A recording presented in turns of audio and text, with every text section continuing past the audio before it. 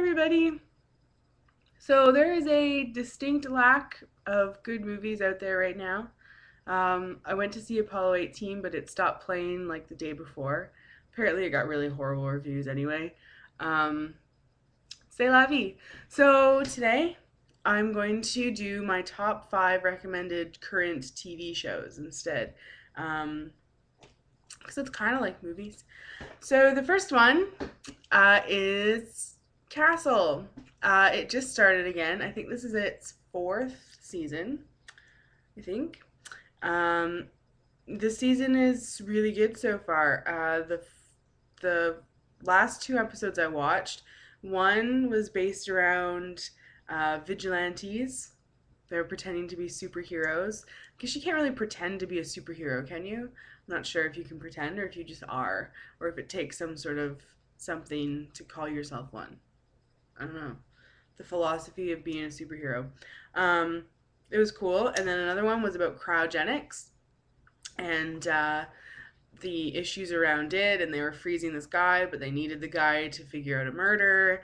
Very, very awesome. Again. Um, so Castle, I've always really liked. Um, there's always really gross and cool murders that happen. And Castle is just, he's funny. It's Nathan Fillion from Firefly, which is my absolute favorite TV show of all time. Um, that's why I even started watching it because I adore him. So I definitely recommend Castle. It's my number one show right now. Um, another one that just started is Dexter. Again, awesome. Um, the premise of Dexter is that he has the mind of a serial killer. He's a sociopath. And so his dad trains him to use this sociopathy for good rather than for evil. And so he kills people who harm others. Um, this season is dealing with issues of religion, um, which is kind of neat because Dexter's an atheist. And so he's get, facing these questions. And um, he's actually going to be sending his son to a Catholic school, and it looks like the main villains for this season uh, have some religious motivation. So that's fun. Um, I always like a good religion theme. My third TV show. Uh, this is kind of a cop out because it's actually not running right now. It it runs in the summer. It's True Blood. Um, and I, you know, True Blood gets a, a lot of bad rap, but I love it. Um, Sookie drives me crazy. Uh, I can't stand her. Um, but the last season, it was no better than the other seasons, but I think they're all really good. You have vampires, and Sookie's apparently a, a fairy. Um, werewolves, were panthers, shifters. It's all it's you know there's so much going on, witches. Uh, it just makes for a really interesting um, story that happens because there's just so many things happening. Um, I would prefer it if Sookie would just vanish, but I don't think that's gonna happen. Uh, but the books, which I've also I've just started listening to the audiobooks, they're also really good. So if you prefer a good book over a good TV show, then um, True Blood. There you go. Um, my number four TV show Walking Dead, which hasn't started yet. It starts next week, I think. Um, but the first season, really good. It's really short, so if you haven't seen it yet, you have time to watch it all before season two starts. Um, there's an apocalypse of sorts, and there's zombies. I love a good zombie movie. Uh, so, you know, to see it in a TV show, very cool. Seeing how the survivors are avoiding the zombies and the, the methods that they take to, to survive. It's very neat.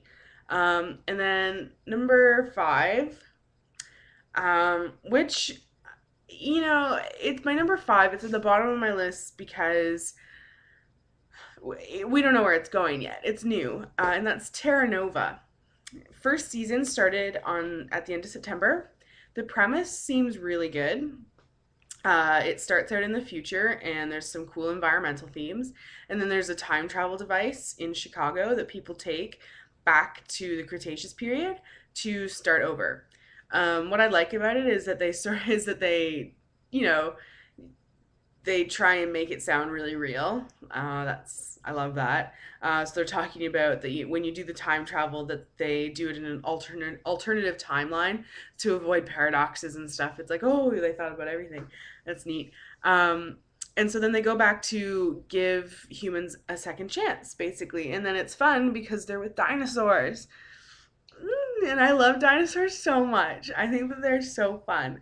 Um, and then my runner up TV show is Game of Thrones. It's a runner up because it doesn't start until next April. So season one was really good. If you haven't seen season one, then definitely watch it. Um, but it doesn't number two doesn't start until April, so that sucks. Um, it's been too long since the first season came out, really. Uh, and I hear the books are good, but I haven't actually read them. So that's it. Those are my top five. I think that they are all skeptical. They all have kind of good themes. They're you know, interesting to watch. They're not typical, and it's five very different shows. So, um, yeah, if you have some time, uh, most of them, Castle, Dexter, True Blood, they all have at least four seasons each. Um, Walking Dead just has the one, and Terra Nova just started. So yeah, there's some stuff to do because there's no good movies out right now. Bye bye.